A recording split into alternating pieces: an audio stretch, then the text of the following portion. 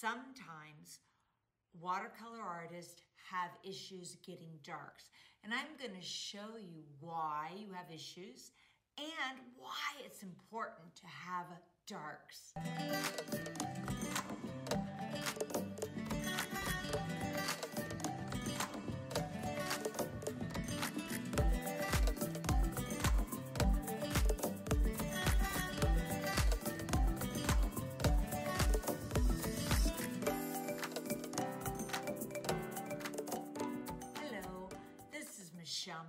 Manriquez from Drop That Brush, and we want to help people that are non-artists become artists.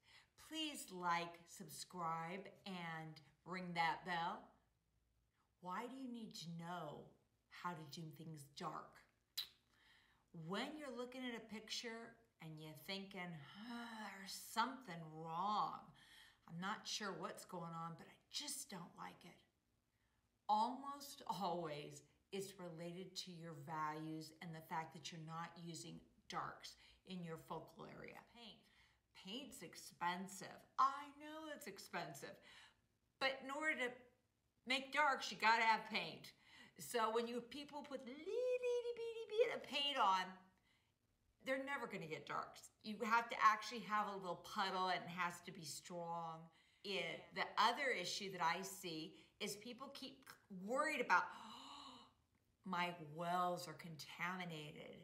And so every time I have to go in, the problem is to get dark, you actually have to contaminate those wells, one well to another without dipping in water. So we're gonna talk about that in the demo and we're gonna talk about how important it is to have darks in our paintings. Stay tuned. First, let's just talk about darks. And it has something to do with temperature. You need to um, determine what temperature you're wanting your darks. Because if you're going to go a cool dark or a warm dark, everything in your piece is mainly warm, then you may want to do a warm dark also. If the uh, shadow or the dark is right where the most important part is, then you may want to think about having a cool shadow. There are many different ways to make darks. The first easiest is look at your palette and look at every dark color you have. This would not make dark, but this will, this will, this will. This is the darkest orange that I have. Some of the browns make darks. Those are darks. So say you are you are doing mainly a painting that is yellow, orange, pink range. What you're gonna do is you're gonna shove through and go to the darker pinks. Instead of cleaning your brush, I am pulling out things.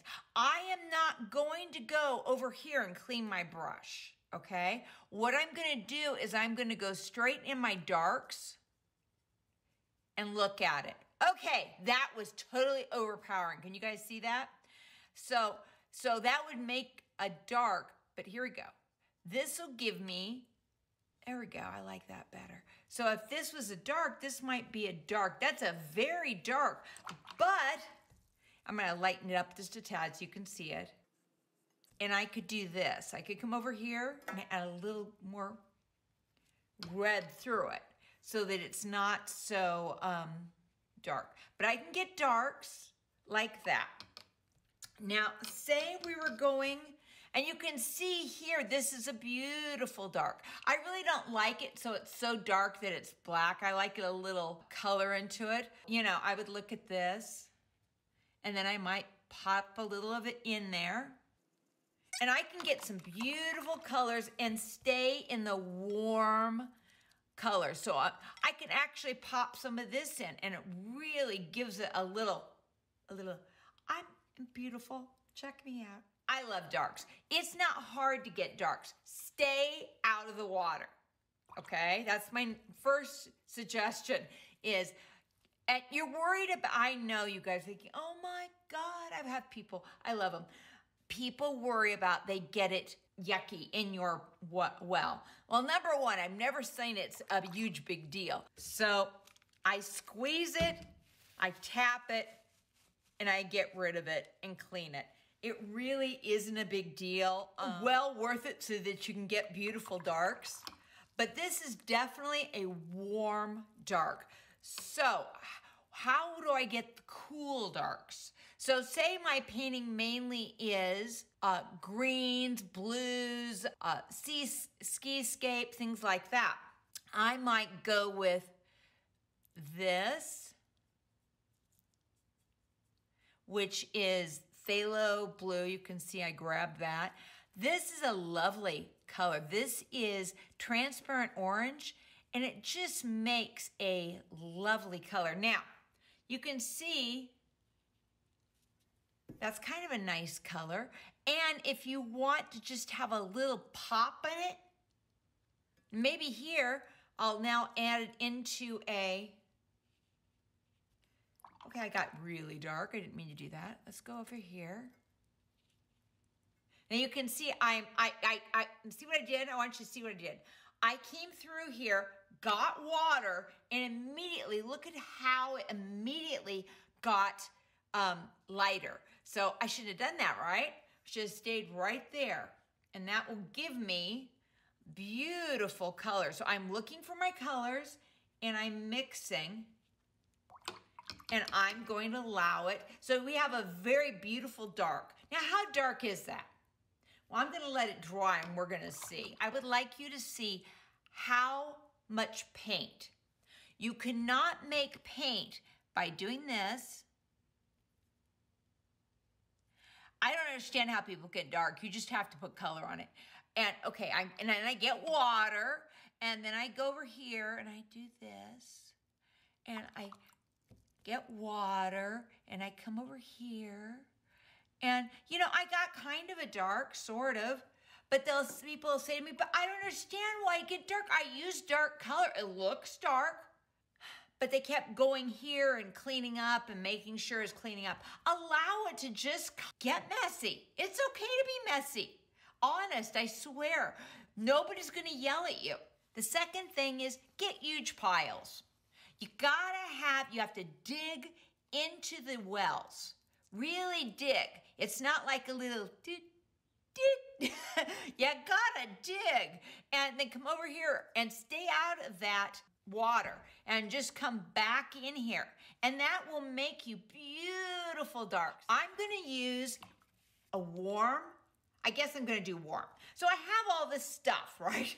And that's okay. Who said that's a problem? I, I have a little tulip. I, you know, this is just a fun little thing. I'm not really care. I was looking for someplace white. I determine whether my color scheme typically and whether it's going to be light or dark. So I'm going to come here and I'm going to get pretty dark colors.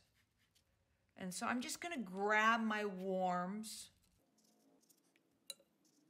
And don't you know, I need some, of course I need some pink. And I'm just going to go around this one because I feel that he is, he's my most important one. So I'm to come around. And I'm using pretty dark colors. You guys can see that.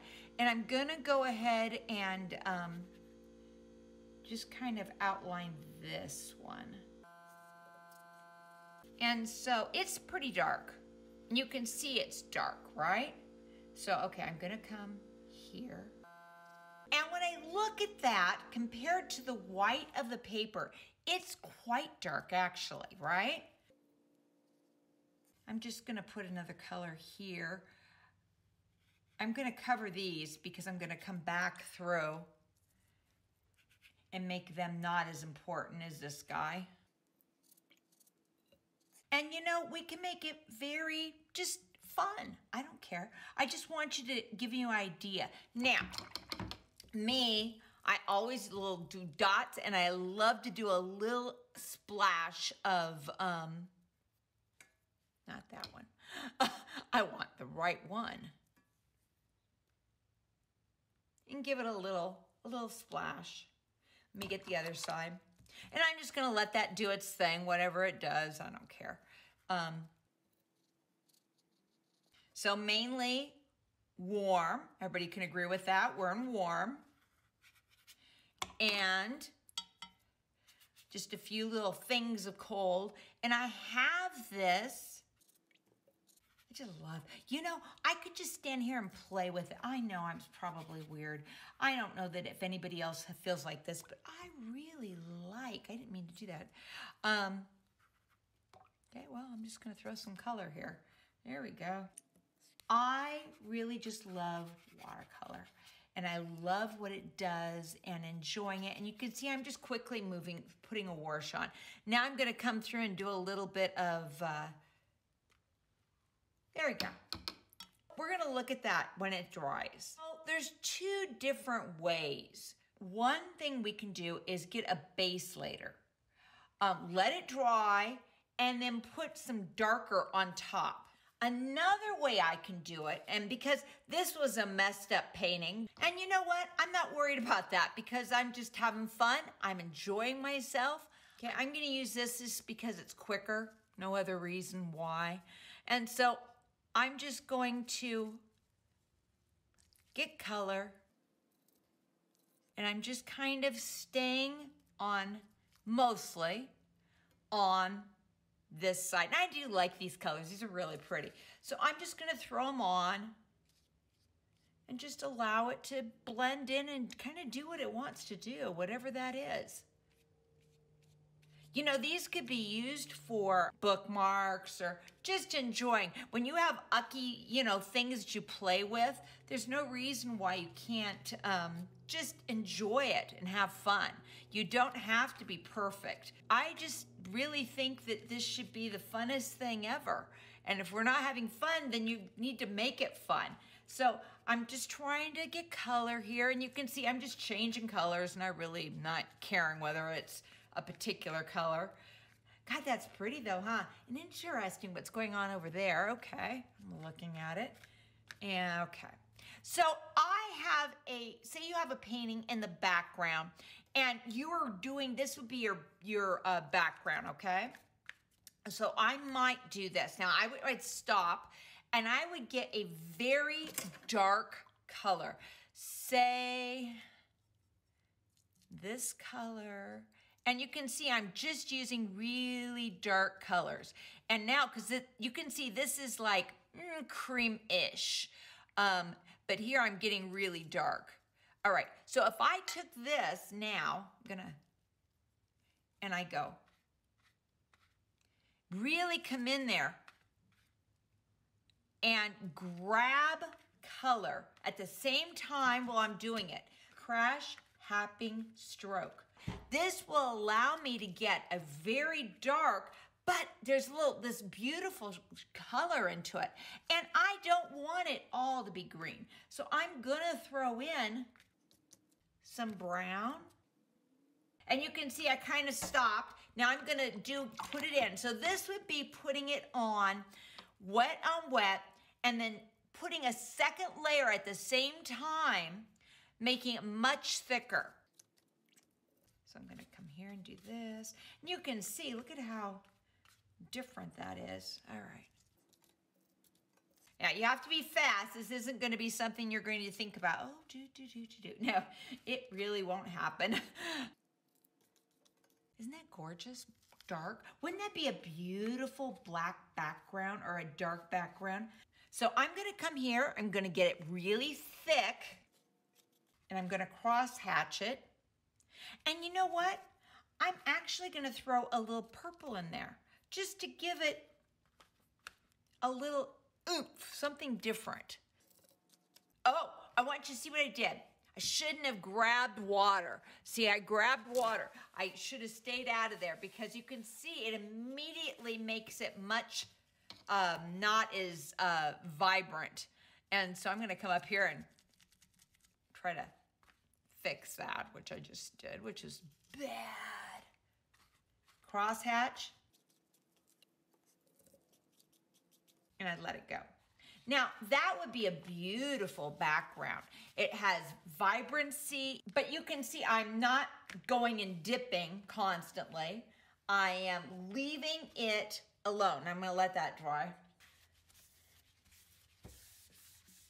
I am so not a clean Some people are so clean, but me, I just make messes. Have a good time. Let's see how dark this really is. Because it looks very dark here because of the thing. It's a seven, eight range. That's all it is. I didn't even make black black, but it's a pretty dark. Okay, hang on, see what this is. I would say I got an eight, nine on this one. And this one, I actually for sure got a nine. That's darker. Dark could be any place in the value scale, seven, eight, nine. And so I was in that, that kind of dark spot. Everybody wants to know what's the best one to mix. Well, you know, like I said, I do either more warm or more cool, but here is my, my typical mix. Phthalo blue, transparent orange. I just think they're pretty together. And then I throw in some magenta. Now, can you see what happened? I it just overpowered, so that isn't gonna work. So I'm gonna go back through. And again, I'm not going back and get water. I'm playing now, right out of the peril. Then I determine to myself, I look at these, I then I determine which whether I want it more cool or more warm. So if I want it more warm, I put more of this. If I'm going to come over here, I'm going to really clean it, um, and grab and make that. So it just depends upon what I'm looking for, or maybe a more little greenish tone. Ooh, that was not good. Really? Grab the wrong one. Let's like that. Okay, I like that better. Again, I want you to see I didn't grab the dark, dark, dark, dark, dark.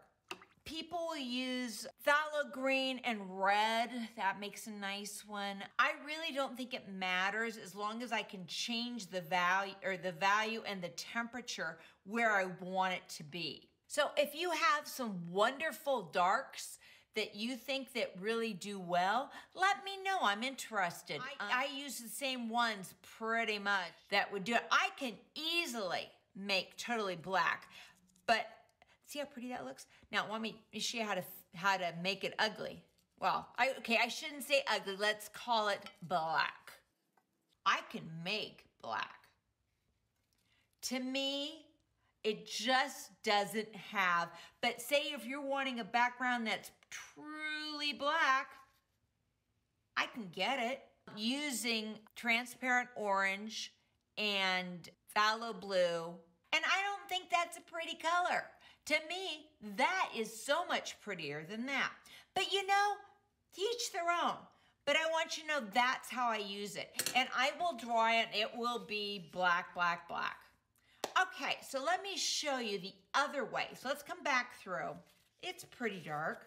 But let's see where I'm really at in value scale. Maybe a five, maybe. Um, some of these are in three. Let me see this dark color here. I got as dark as uh, maybe a six, five, six. So it's not dark. It's not at all dark, to be frank. So I'm gonna come back through. It's totally dry, okay? And so now I'm gonna come back through and say, okay, I'm gonna make this basically a warm with a little bit here and there of dark. Now I'm looking at what I have here. I have basically uh, cool colors. So, uh, but I don't want to, I don't want to use, waste it. So I'm going to use it anyway. Um, so I gotta fix it a little bit. Okay, we wanna go this way. So I'm gonna shove a lot more this into it. Let's see, let's see. And maybe more brown. And I still want some blue. Okay, let's see what I got here. Now, let me tell you what cross strokes. It's basically, I do this. I kind of go back and forth, back and forth. You see that? And that's a very warm color. So it's totally dry. And now, and I do want some blue here and there. Why would I want blue in this area? This is my focal point. We'll say it's going to pink. So I may put a little bit of blue around this because this is my star and my star should have more color. And you can see how thick it is. I am actually, um, is this true black? Yeah, not really. But I like it and it's dark and it has oomph. It's not boring. So, okay, now I just hit the water. You know, you just, I'm used to hitting the water and you get in trouble, man. For a stretch. Now, I would normally never come over here and just uh, leave that. I would bring that in because I don't like hard edges personally. But you know, it's my thing. I like it. So I would leave some of it. All right. So in particular in this stem. Oh my, yeah, that would bother me. I'm just coming here. Oh, look, I lost all of that dry. Now I got to thick it up again. Can you see what's going on up here? The minute I started um, mucking, then I got mess. Now, I think I would like to cut these out sure. I'm just gonna make it up, okay? Is that all right? Guys, I don't know if you guys do that, but I make stuff up all the time. So I'm gonna go here.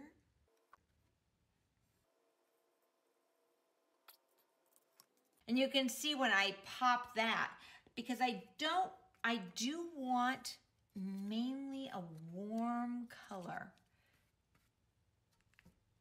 Like a warm brown. So I kind of move that over. So let me just shove that over. This is fun. I, you know, to me, this is such a fun thing just to, just to be mucking around. And so I'm, you know, if I mess it up, yeah, it's okay. Now, I'm going to go with, I think I would really like, there, I like that. And I'm kind of doing a sideways movement just for the fun of it. This is a little, now see, you see here where I just skipped it and kind of blew the uh, thing. And I'm gonna leave it alone just like that. I'm gonna come through, soften a couple edges. And this, when I put the blue greens on it and stuff, it won't matter. But you still have a little bit of the underground showing. Let's see the value that we've received now that it's totally dry. Eh, seven, eight, nine. It just depends, but it's around there. And that would be a beautiful background. Or if you have an area that you're just going to be a little darker, this would be a beautiful background because it's fun and it's organic looking. Just don't go into the water. And then if you don't like what your uh, palette looks like, just spray it and pat it dry again. If you have any questions, let me know. Take those old paintings out of the cupboard. Look at it. Get your value scale and say, is everything five or below? Um, then go for it. Throw some darks in. The worst that'll happen is you ruin it, but it was sitting there anyway. So go for it and be brave and put your darks in. You'll be amazed at what can happen. So when you're just playing and you keep doing this and thinking, I don't know what I'm doing, drop that brush, like, subscribe, and ring that bell. You have a wonderful week. Bye.